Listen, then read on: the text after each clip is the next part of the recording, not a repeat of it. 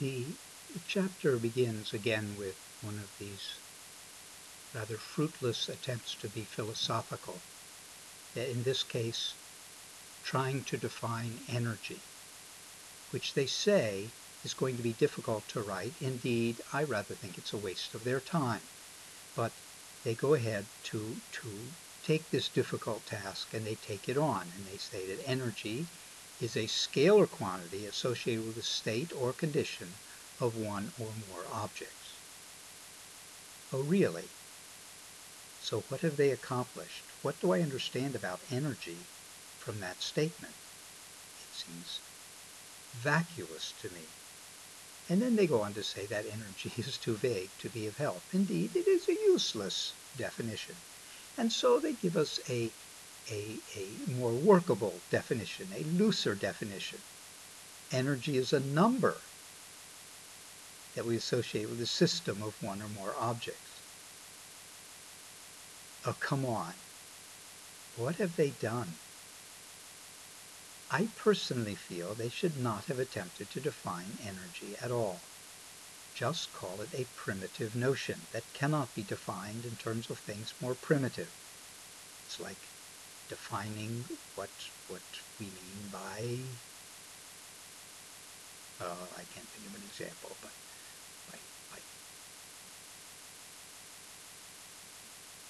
yeah, I'm probably I'm probably out of my league. But they then move on from energy to talk about work. And they say that work is the energy transferred to or from an object by means of a force acting on the object. I don't know if you recall my definition of work from last year, but I would like you to, and those of you who have me for the first time, I think a better definition of this is to say that work represents energy transformed, not transferred, but transformed. Energy changing from one form to another. Uh, if you change, um, if you have something up high and, and you drop it, gravitational energy is transformed into kinetic energy. And I call that work. And I think that's a very good definition, and I would like you to parrot it back to me on your worksheet. And I would like you to hold on to it. I think it is a very useful definition. In the case of this one, is force really necessary? if, if you if there's no force, does that mean that no work is done? And and uh, let's talk about transforming chemical energy into electrical energy, as as goes on inside of a, a uh, an electric cell. Is there a force there? Can you identify the force? Can you work with the force? When electricity is changed into light, definitely work as energy is transformed, I, I challenge you to identify the force. So I think that the book has really missed its mark with this stuff, and I hope that what I have said you can embrace. But in that instance where force is acting, a force is applied, let us start with this uh, statement about the final velocity squared is equal to the initial velocity squared plus 2 times the acceleration times the displacement, uh, acceleration, because there is force. And then I want to take this equation and multiply both sides of it by 1 half m. And so you have 1 half m times v final squared and 1 half m times v initial squared plus 1 half m times 2a delta x. Well, the 1 half and the 2 go, so you have ma delta x. But you recognize that. That's kinetic energy. This would be final kinetic energy and initial kinetic energy. Indeed, let us subtract this from both sides, and we have the final kinetic energy minus the initial kinetic energy is equal to ma delta x. But ma is force times delta x. And in the case where a force is acting through a distance, I would agree that that product is equal to the work. With one caveat, which I hope that you see is necessary, and that is that this multiplication needs to be a dot product, a scalar product, that, that we are only only take the parallel components of the force and the uh, displacement and multiply them together. This equation looms large. I do not know why, but it does. It has a name. It's called the work kinetic energy theorem. It seems to me no more than a statement of kinetic energy is changing, that is, something that was kinetic energy is becoming some other form of energy, or some other form of energy is becoming kinetic energy, that's energy transformed is equal to work. There's my definition all over again. But the book seems to feel like this is very profound, and so does the rest of the physics community. Mr. Houghton just doesn't get it. So, I have a penguin, and, and I am going to, to lift that penguin into the air. And when I lift the penguin into the air, I give it energy. That is an okay statement, but it's not completely true. It is not the penguin that has the energy. It is the system of the penguin and the earth that has the energy. It is increasing the separation between penguin and Earth that constitutes the gravitational potential energy that the penguin now has. And that, that systems having energy put into them or taken out of them is, is a very useful thing to hold on to. If I then carry the penguin horizontally I have to apply a force to the penguin to hold it up during that whole carry. But of course the amount of work that was done here is not the product of the force I'm applying, the weight of the penguin times this distance. It is zero because we are only interested in the parallel component. And indeed, the penguin Earth system has the same amount of energy at the end of my horizontal carry as it had at the beginning. If I then put the penguin down, then energy comes out of the Earth penguin system. The penguin is now closer to the Earth. There is less gravitational potential energy in that system. If I were a spring, then in lifting the penguin up, the penguin Earth system would gain energy, but the spring would lose energy as it expands. If the spring were to carry the penguin sideways, there would be no change in the spring's energy, and as the penguin came down, squashing the spring, what was negative work for the penguin Earth system would be positive work for the spring. It doesn't quite work that way with humans. You can't store energy back into the human by putting the penguin down, but be that as it may. Um, we speak of this energy of position, the relative position of penguin and Earth as gravitational potential energy. And the symbol for potential energy is a capital U, U sub G, gravitational potential energy. It's energy of configuration. It has to do with where the penguin is relative to the Earth. Another form of elastic energy, uh, of potential energy, is elastic potential energy. Again, energy of configuration. Where is one end of the spring relative to the other end of the spring? and, and uh, you hopefully recall the formulas for these. Um, I'm not sure if you were asked to do that in your worksheet, so let's let's uh, do that now so that you can get the right answer. That gravitational potential energy for the time being will be the force you applied to the penguin to lift it away from the earth, which is the weight of the penguin, times the distance. You have increased the separation between penguin and earth.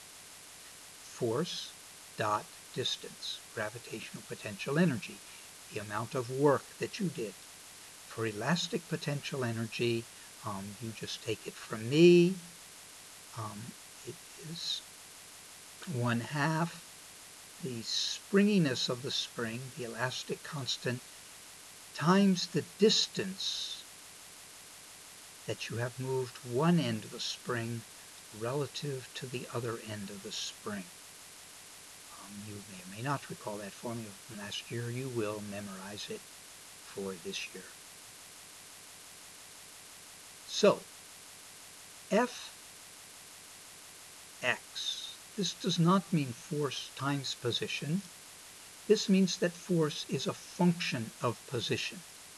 If it is a constant function, then, then there is only one value for work, and I multiply that times the distance that that force has acted through, that one force. But what about if the force is a function of position that is not constant? If the force were to change from x value to x value, in that case, we would take the event of the force acting through the distance, and I would break the event into very, very small little distances over which the force stayed approximately constant, and I would find the work done in each of those little intervals, and then I would add them all up in order to get the total work done. And that is exactly what this statement is saying. That work is equal to, and this is an S, standing for sum, the sum of the force as a function of position times these little teeny infinitesimal changes in position over which we say that the force is relatively constant. We need to develop this earlier. Indeed, more, we need to develop the idea of the integral. So you have this sheet um, that, that uh, in physics, an integral can be thought of as an antiderivative, doing the opposite of what derivatives do, or as a continuous sum. And I don't think you think about it this way in calculus very much. You must think about it this way in physics, or it's not going to be helpful to you. So here you have force as a function of position. At each new position, the force has a different value.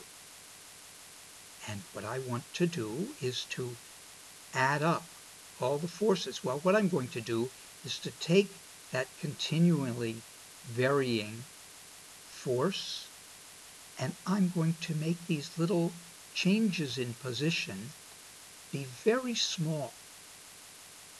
And over them, I'm going to approximate the force which actually changes over that interval, but I'm going to approximate it by a constant force. So at each little delta x, I will have a constant force.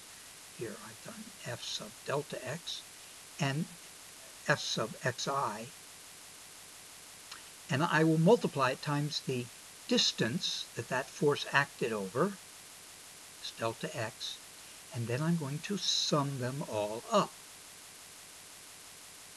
And when I let those delta x's become very, very small, we say infinitesimal, I change it from writing a Greek d to writing a Latin d.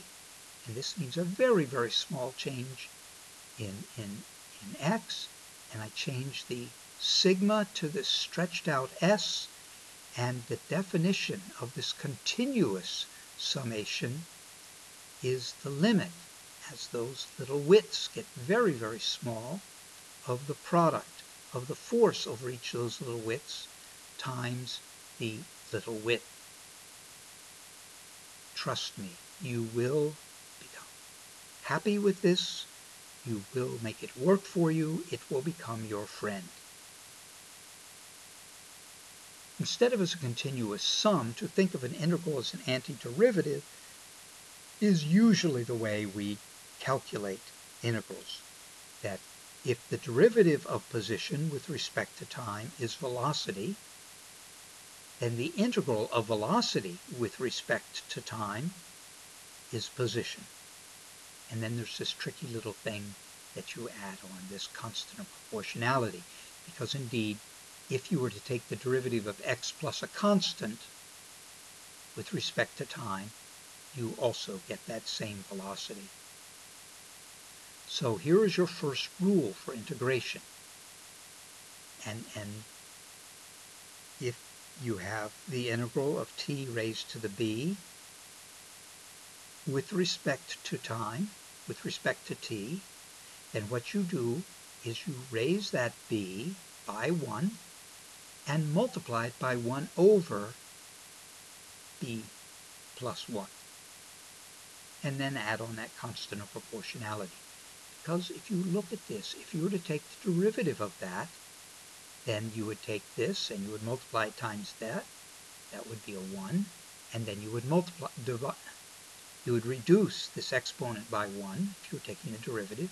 So it would be t to the b, and this would just be a 0 here when you took the derivative of that with respect to time, because it's a constant. It does not change with respect to time.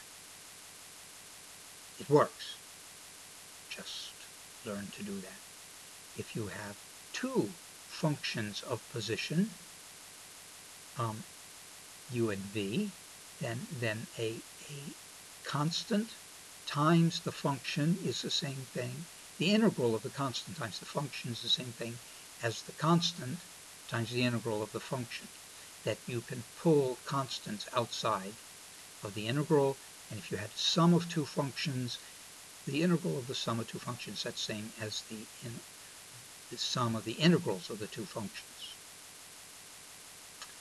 Finally, if, if uh, this is called a definite integral, where we put values at the top and the bottom of the integral uh, symbol, and, and this means I'm integrating from j to k, what you do is use your rules to find what this is, 1 over b plus 1, x to the b plus 1, and then I put a long bar, I put the j and the k, and then what you do is you take the upper limit, and you put that in for x, minus the lower limit put in for x.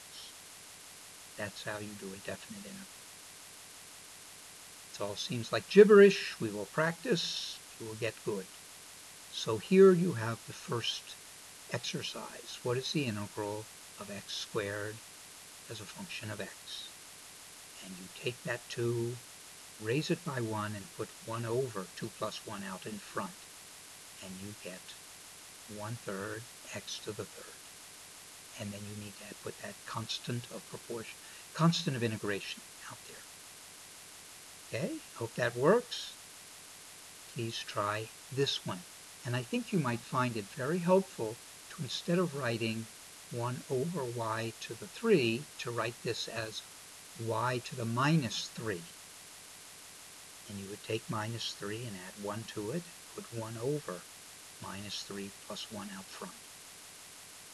Don't forget the constant of integration. Please put your answer to that on your worksheet. And, and uh, in a couple of slides, I'm going to tell you what the right answers were, but I would like you right now to see if you can get that answer. Again, here's a constant times a, a, a, uh, a function and, and uh, so don't forget you can pull that outside the integral. Please evaluate that one.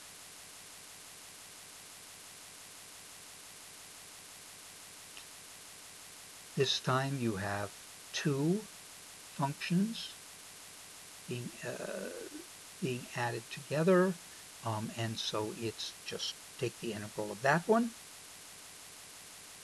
and then add on the integral of this one, and then there's a single constant that you add on after those two. all answers on the worksheet, please. What about this one?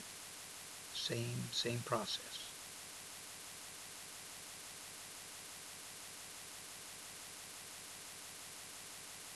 And here's a bit of a challenge. Integrate acceleration with respect to time, call the unknown constant v sub 1. Whoa, I thought I was keeping up. I'm completely confused. What do you want me to do? And it would look like this. You integrate a with respect to time. When you do that, there a is, is, is a constant, and so this is t to the 0, and so that becomes 0 plus 1 and 1 over 1 out in front. So try it. If you take the derivative of a to the t, at with respect to time, do you not get a? Yes, I do. Boom, boom. And you have a constant of integration, but we'll put in v1 as a constant of integration. Oh my, look at that. That's like final velocity is equal to initial velocity plus acceleration times time. So cool. Now, integrate your result with respect to time and call the unknown constant x sub 1. And if you're feeling courageous, you could pause the show and do that. And then I'm going to show you what should have happened. You would take this result and integrate it again with respect to time. Oh my, that becomes t to the 1, plus 1 is 2, and you put 1 half out in front, and vi becomes vi times time, and there's a constant, and we let that constant be x sub i, and there you have x final is equal to x initial plus vit plus 1 half at squared. And that is why that is the formula for position where there is acceleration present. Find the work. Oh, this is the sort of stuff we're going to be doing for homework. Find the work done when a force given as this function of position. Oh, look, force is changing from x value to x value. Acts from 3 to 5. Again, you could stop the show and see if you could do it. Um, I'm going to go ahead and, and make sure that, that uh, this is working for you. Work is equal to the integral of force times these little changes in position. There I've put in what the force is, 5x, and then you know how to evaluate that. And then put in 5 for x minus and put in 3 for x and see what you get for the amount of work done. Find the area under this curve. My, it's just this all over again, that I'm going to find the area by taking v, which is a function of time, versus time, and I'll find the area under by adding up little teeny bits of time, dt's, times how tall each of these rectangles is. It's that tall. So you would just do the integral, a definite integral from 1 to 5 of this function dt. Give it a try. Get an answer. Now this is gets very challenging, and I hope you're having fun. Um, if if you are have never studied integrals before, you have not taken calculus, you're taking it for the first time right now, then you could turn in your work for 9 through 12, and if it is pretty and correct, I will give you extra credit. If you have already done learned how to integrate. I want you to do it anyway, but I'm not giving you extra credit. But here's the task. What is the volume of a sphere? And I'm going to use integrals to do it, and the trick comes in figuring out what to add up. You need to think about this as continuous summation. And what I've decided to do is to slice the sphere into pancakes. Each pancake will have a thickness dy, and it will have an area that is equal to pi times r squared.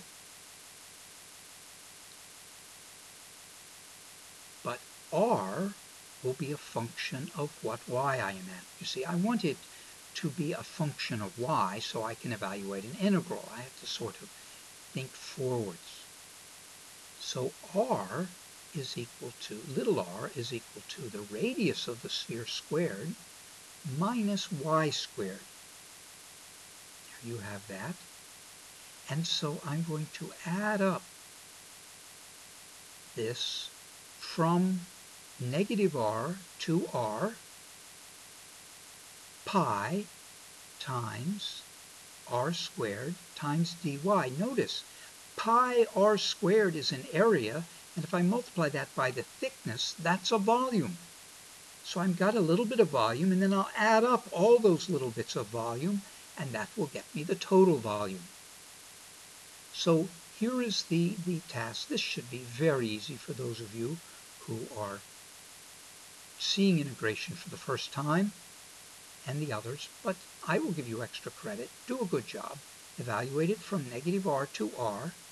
Uh, do it correctly, and you should get the well-known result for the volume of a sphere. And I personally am always tickled to death that I can do that correctly. I hope you feel some joy in being able to get that to work out as well. Another challenge, find the area of a triangle. Well, that's a very well-known result. The area of a triangle of height x and, and base b. But um, I'm going to do it by integration. I'm going to cut it up into little rectangles. The area of that rectangle will be the height as a function of x h over b times x. Try it out. Um, h would be the height of the thing here. That, that this is to x as b is to h, the total height. So I have figured out how to write the height of this as a function of x, and then I'll just do the integral, a definite integral, evaluated from x equals 0 out to x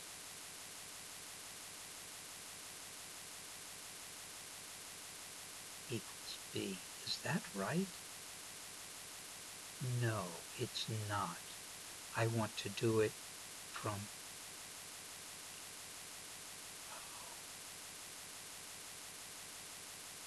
No, I do. From x equals 0 to x equals b. That'll get you the right answer. What am I doing wrong here? Height h. This is the height. There's the base.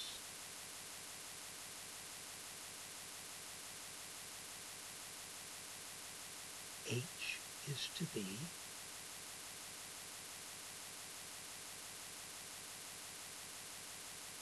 as this is to x b is to h. So this is to x. So this is b over h times x. Oh, I'm confused. Do it. Volume of a cone. And, and this time you're going to bite, cut it up into discs. And, and uh, um, you could think about making a cone, looking at it in cross-section, get the radius of your disc as a function of where you are along your height of the cone and then add them all up. And finally, uh, this problem 12. Do it. Do it well. Here then are the answers that I promised you. Um, in, you could go back and check to make sure that in uh, 1 through 8 you got those correct. I hope this works. Integration is going to be a big part of your life and, and I hope I haven't spoiled it for you.